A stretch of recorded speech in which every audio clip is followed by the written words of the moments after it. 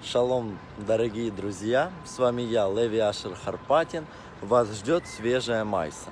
Была одна еврейская семья в Австралии. Да, представьте, в Австралии тоже есть евреи. Ну, вы мне скажите лучше, где их нет. Вот. И они были абсолютно нерелигиозными, но очень богатыми людьми, состоятельными, воспитанными. Они были философами, математиками. Вот, то есть семья была на уровне.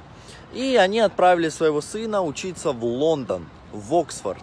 Все, сын получает хорошее образование, поступил тоже на философа, он очень грамотный, образованный. И он прилетает к ним летом и говорит, мама, папа, я нашел свою судьбу, все, я не могу, я хочу жениться, я просто, ну, не знаю, без нее жить я не могу. Они говорят, ну, Мазлтов. Он говорит, ну, есть одно но, одно но, она не еврейка. Родители схватились за голову, говорит, говорят, ты знаешь, мы не соблюдаем ни шаббат, ни Йом Кипур, ни какие религиозные праздники, мы не в Кипе, мы не в Циците, но это самое мерзкое, что может сделать еврей. Не жениться на еврейке. То есть не жениться на еврейке, все. Это самый мерзкий поступок. Проходит месяц, он улетает, говорит, родители, я вас люблю, вы остаетесь всегда моими родителями, но вы же понимаете, да? То, что я женюсь на ней. Он улетает, и вот он летит с Австралии в Лондон, очень длинный рейс, и слышит объявление. Если на борту есть еврей, подойдите в бизнес-класс, пятый ряд, тринадцатое место. Но он видит, никто не идет, но он идет, проходит. Сидит хасид, шляпа, пейсы, цицит, костюм, все как надо. Вот, как положено. И говорит ему, вы еврей? Он говорит, да.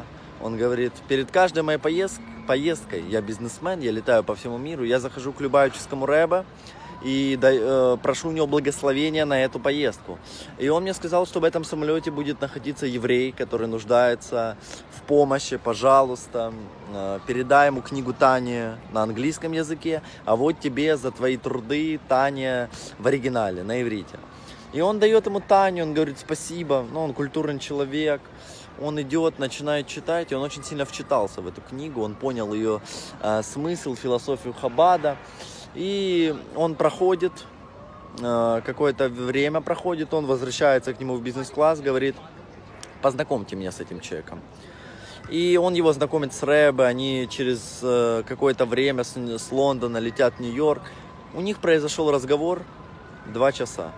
Два часа они разговаривали. Он больше никогда не вернулся в Оксфорд, он не женился на этой девушке. И сейчас это посланник Любавического рэба в Цвате. Браха Вецлаха. Давайте идти по законам Всевышнего.